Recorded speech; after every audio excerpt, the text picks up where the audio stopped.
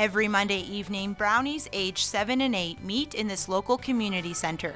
We basically do crafts and songs and games, and we go to, on field trips, we do sleepovers, um, and we try to be really involved in the community as well. So we do stuff like this. This meaning activities that give back to their local community, such as the annual food bank fundraiser, Hike for Plenty. And we have some meat right here. Well, we do the Hike for Plenty every year. It's a big event. Uh, I believe this is the 19th year that Edmonton area has done it. Our unit, we raise, um, we'll probably have about eight to 900 food items this year. Brownies and other Girl Guide groups delivered thousands of flyers to Edmonton homes asking for food bank donations.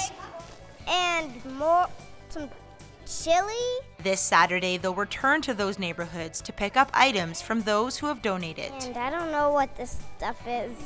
The 154th Edmonton Brownies are putting a special spin on this fundraising campaign by creating a birthday in a box. Now, this is for families who can't afford to throw their children birthday parties. It has all the tools they need to give a very special day to their child.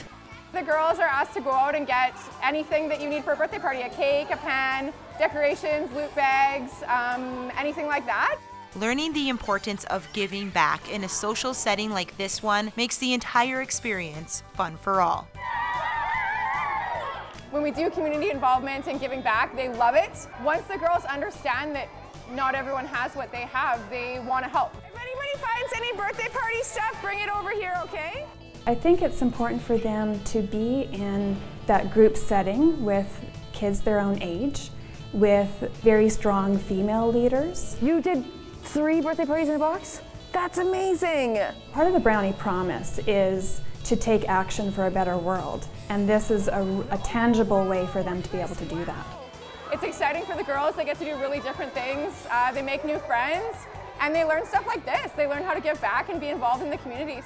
We love help the food bank. In Edmonton, I'm Alexa McLean.